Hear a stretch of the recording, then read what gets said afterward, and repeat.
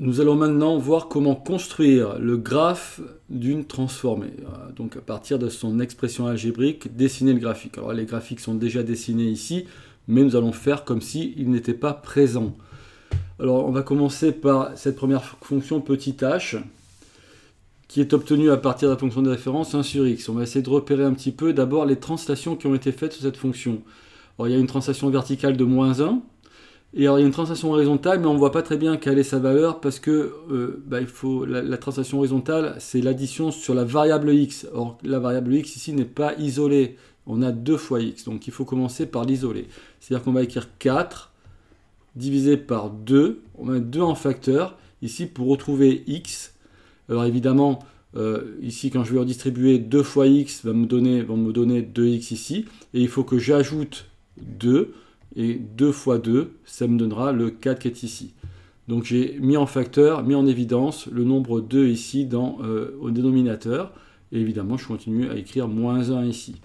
Une fois qu'on a fait ça, bah, c'est beaucoup plus pratique, puisqu'on voit que la translation, bah, il y a une translation horizontale de moins 2, puisqu'on a ajouté 2 à la variable, donc translation horizontale de moins 2, et une translation verticale de moins 1. On va pouvoir écrire l'enchaînement des transformations élémentaires qui, à partir de la fonction 1 sur x, vont permettre d'obtenir la fonction petit h. On va commencer, on commence toujours par les étirements, parce qu'un étirement ben, ne modifie pas le point qui se situe en 0, 0. Alors pour la fonction 1 sur x, le point qui se situe en 0, 0 c'est euh, l'intersection des asymptotes. Mais euh, ben voilà, donc, euh, donc on sait que ce point d'intersection des asymptotes, justement, va subir une translation verticale de moins 1 et une translation horizontale de moins 2. Il va se trouver ici. D'accord? Et on, va ensuite tracer le graphe de la fonction petit h en considérant que euh, euh, l'origine du repère, c'est ce point ici en 0, 0. voyez Et les nouveaux axes ici. Euh, voilà. C'est pour ça qu'on fera les translations en dernier et on dessinera le graphique en faisant comme si les translations sont déjà faites. Et on n'aura plus qu'à dessiner la fonction avec ses étirements les étirements, il y a quoi comme étirement? Alors 4 et 2 ici peuvent se simplifier.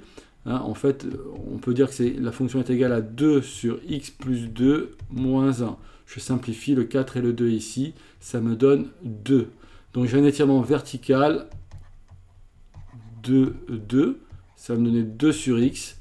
Et ensuite, on a des translations. Hein. Translation horizontale de moins 2 pour obtenir 2 sur x moins 2 et ensuite une translation verticale de moins 1 pour obtenir 2 sur x moins 2 moins 1 qui est cette expression ici qui est l'expression de la fonction petit h euh, simplifiée.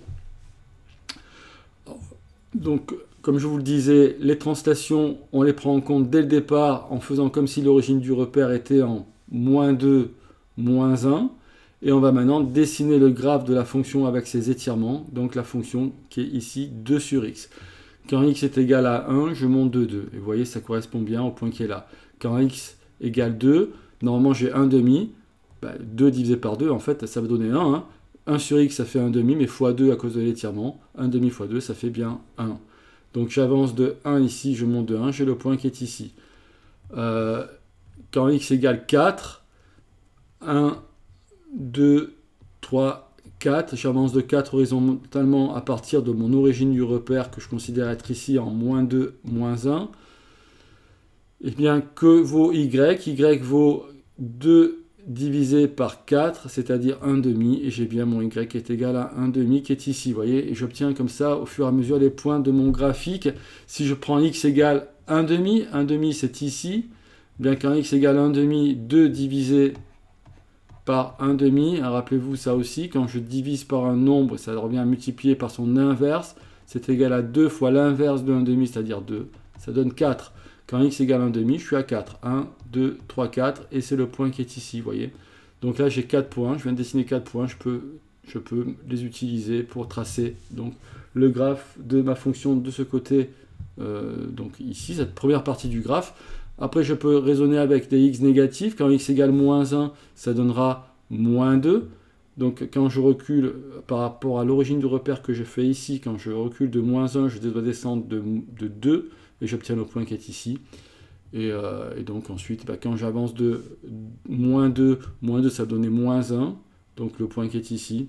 Et si j'avance de 1 demi, 1 demi, ça va donner moins, donc 2 divisé par moins 1 demi, et ça va donner moins 4 cette fois. Donc quand j'avance de, quand je recule de 1 demi, je descends de 4, 1, 2, 3, le point sera quelque part par là, vous voyez. Et donc bah, je, peux à partir de là tracer le graphique et m'arrêter évidemment au niveau euh, du quadrillage. Mais euh, voilà, faire Très bien, on va passer à une nouvelle fonction, euh, bah, la fonction racine carré, par exemple ici, vous voyez, h de x égale 2 racine carré de moins x plus 4 plus 4. Donc là encore, je ne vois pas très bien quelle est la translation qui est faite sur le x, parce que j'ai moins x et le x n'est pas isolé. Donc je vais mettre le moins en évidence, ça fait moins 2 racine carré de moins, entre parenthèses, x moins 4. Il faut savoir mettre en évidence on est d'accord que ce que j'écris là, c'est bien la même chose que là. Quand je vais distribuer le moins, ça fera moins x, moins moins 4, ça fera plus 4. Écrit comme ça, ben, je vois qu'il y a une translation horizontale de 4 et une translation verticale de 4. Et alors, je vais pouvoir euh, donner à partir de la fonction racine carrée de x les transformations à effectuer pour obtenir petit h. J'ai un étirement vertical de moins 2. J'obtiens moins 2 racine carrée de x. Alors l'étirement vertical de moins 2, je pourrais le, décomposer en une symétrie orthogonale d'axe OX de, et un étirement vertical de 2, mais on peut aussi très bien écrire ça comme ça, c'est beaucoup plus simple. Ensuite, j'ai une translation horizontale de... Alors attendez, d'abord avant ça, hein, j'ai un étirement horizontal, j'ai un étirement horizontal d'abord de moins 1, que je pourrais appeler également ici symétrie orthogonale, cette fois-ci d'axe OY, puisque c'est je passe d'un x à son opposé, je, je passe d'un côté à l'autre de l'axe des y. Alors quand je multiplie par moins 1 euh, l'image, le y, je, ben, je passe d'un point à un autre de chaque côté de l'axe des abscisses, et donc euh, symétrie orthogonale d'axe OX quand je fais, fais, un étirement vertical de moins 1, et symétrie orthogonale d'axe OY quand je fais un étirement horizontal de moins 1. Donc là, je passe à quelque chose qui ressemble à ceci comme expression. J'ai plus qu'à faire maintenant les translations. Une translation horizontale de 4, euh, j'enlève 4 à la, variable, donc ça me donne moins 2 racine carrée de moins, entre parenthèses, x moins 4. Translation horizontale de 4, ça veut dire que j'enlève 4 à la variable, et uniquement à la variable, il faut bien que j'agisse uniquement sur le x et pas sur le moins x. Et ensuite, un étirement horizontal de 4 une, translation, une translation verticale de 4 pour arriver à ma fonction finale. Moins x moins 4, ben, je peux distribuer le moins, hein, ça fait x plus 4. Moins 2, euh, le moins x, pardon, moins x plus 4, je distribue le moins, ça fait moins x, moins moins 4 plus 4, moins 2. Je retrouve bien la fonction donc h ici. Alors pour la tracer, ben, je, vois bien que j'ai une translation verticale de 4, donc à partir de 0, je vais monter de 4, et j'ai une translation horizontale de 4, donc j'arrive ici. Donc je vais tracer la fonction maintenant en partant d'une origine du repère que je considère être ici. Je fais comme ce, ci ce point-là, qui est en 4, 4, qui me donne la translation à effectuer à la fin. Eh bien, euh, ben, je, vais partir comme si elle était déjà faite, donc je vais partir de 0, 0 ici, et je vais tracer euh, ma fonction après les étirements, c'est-à-dire la fonction qui est ici. Donc je veux tracer cette fonction-là à euh, étirement vertical, étirement horizontal de moins 1. Attendez, voilà, c'est ici, étirement horizontal de moins 1. Je veux tracer la fonction qui est ici, moins 2 racine carrée de moins x. Allons-y. Quand x égale 0, ça fait 0. Alors je dois prendre des valeurs de x qui sont évidemment négatives. Hein, je dois aller dans ce sens-là. Si x égale moins 1, ça fera moins 2 x égale moins 1, j'obtiens moins 2. Si x égale moins, moins 4, prenons des nombres simples, x égale moins 4, moins moins 4, ça fait plus 4, racine carrée de plus 4, ça fait 2, 2 fois moins 2, ça fait moins 2. Donc quand je recule de 4, ou quand je prends x égale moins 4, j'obtiens y égale moins 4, donc j'obtiens un point qui est ici, vous voyez. Et on peut continuer comme ça, mettre des points intermédiaires éventuellement. Donc si vous en avez déjà 3, vous pouvez déjà plus ou moins me tracer euh, la fonction. Alors on pourrait prendre évidemment un quart, hein, si x égale moins un quart, x égale moins un quart, faisons-le, hein, x égale moins un quart, donc je vais calculer moins 2 racine carrée de moins moins 1 quart. Ça fait moins 2 racine carrée de euh, moins, 1, moins quart. Hein. donc, euh, je ne sais pas pourquoi je l'aurais écrit là. Donc, ça fait moins 2 racine carrée de moins 1 quart, euh, enfin de moins moins 1 quart, moins moins 1 quart, excusez-moi, x égale moins 1 quart, donc moins 2 racine carrée de moins moins 1 quart, ça fait moins 2 racine carrée de plus 1 quart, et racine carrée de 1 quart, c'est 1 demi. Ça fait moins 2 multiplié par 1 demi, ça fait moins 1. Donc quand x égale moins 1 quart, j'ai mon y qui vaut moins 1 demi, c'est le point qui est ici.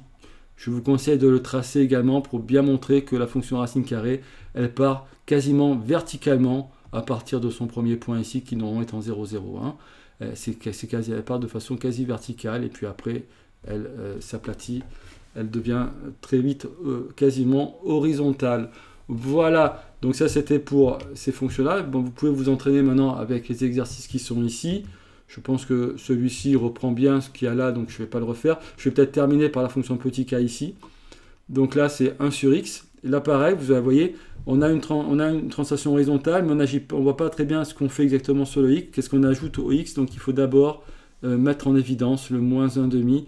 Donc ici, on va d'abord écrire c'est égal à 1 divisé par moins 1 demi et là, on va mettre le x. x fois moins 1,5, ça va me donner le nom qui est là. Et qu'est-ce qu'il faut que je mette encore ici? Pour que multiplier par moins 1,5, ça me donne moins 1, ben, il faut que je mette plus 2. Vous voyez 2 fois moins 1,5 donneront le moins 1 qu'il y a ici. Évidemment, j'ai toujours la translation verticale de moins 2 par après. Écrit comme ça, ben, on voit très bien quelles sont les opérations qui ont été faites à 1 sur x. Alors, enfin, on, verra mieux si, plutôt que de diviser par moins 1,5, on multiplie par l'inverse, c'est-à-dire moins 2. Donc ça fait moins 2 sur x plus 2. On n'est même pas obligé de mettre la parenthèse du coup maintenant. Moins 2. Donc la fonction, hein, plutôt que d'écrire moins 1,5 en, en dénominateur, on peut écrire moins 2 au numérateur, puisque diviser par moins 1,5, c'est la même chose que multiplier par moins 2. Donc on commence par un étirement vertical de moins 2, qui peut se décomposer en symétrie orthogonale d'axe à étirement vertical de moins 1, c'est-à-dire euh, étirement vertical, je passe d'un côté de l'autre, donc d'axe OX, et un étirement vertical ensuite de 2. Hein. Mais autant garder l'étirement vertical de moins 2, ce sera beaucoup plus facile pour tracer le graphique de la fonction. Une fois que j'ai fait mon étirement vertical de moins 2, bah, il n'y a pas de multiplication au niveau du x, hein, il y a juste des translations ensuite. Donc là, j'obtiens moins 2 sur x, et puis ensuite, après, je fais les translations horizontale de euh, moins 2 pour avoir le x plus 2 et après une translation verticale de moins 2. Donc au final, normalement le point qui était en 0, 0 va se retrouver, translation horizontale de moins 2, translation verticale de moins 2 va se retrouver ici. Et donc c'est à partir de d'une origine du repère qui se situe ici. Hein. On pourrait tracer d'ailleurs les asymptotes, hein. on ne les voit pas très bien, mais il y a des une asymptote ici, une asymptote là. Donc c'est à partir de ce nouveau repère 0, 0 qui prend en compte la translation, donc qui considère qu'on a déjà fait la translation, mais translation que l'on fait en dernier pour justement pouvoir ensuite faire les étirements à partir de euh, ce point ici, en considérant que ce point ici, c'est comme si c'était le point 0, 0, et du coup, au niveau des étirements, le point qui est en 0, 0 ne va pas changer, va toujours rester là, donc j'aurai bien euh, mon, mon, intersection des asymptotes ici qui se retrouvera ici, parce qu'on fait encore une fois, quand on fait les transformations, il faut d'abord commencer par décrire les étirements et ensuite les euh, translations.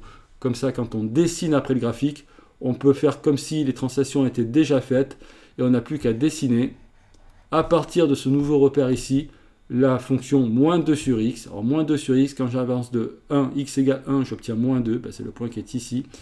Quand x égale 2, ben, ça fait moins 2 divisé par 2, ça fait moins 1. Donc j'avance de 2, ça fait le point qui est ici. Quand j'avance de 4, ça fera moins 1,5. 1, 2, 3, 4. on descend bien de moins 1,5 par rapport, évidemment, hein, l'axe du repère que je considère être ici, hein, maintenant, quand je fais le graphique. Et pareil de l'autre côté, si je fais x égale moins 1, ben, ça fera 2. x égale moins 1, je monte de 2, c'est le point qui est ici. x égale 1 demi, ben, ça fera 4, euh, je monte de 4. Quand x égale moins 1 demi, pardon, hein, moins 1 demi, x égale moins 1 demi, donc je multiplie par moins 2. Par l'inverse, ça fait moins 4, ça, fait donc 4. Moins 2 fois moins 2, ça fait moins 4. 1, 2, 3, 4, c'est le point qui est ici. Vous voyez, comme ça, vous arrivez à tracer les points de votre graphique.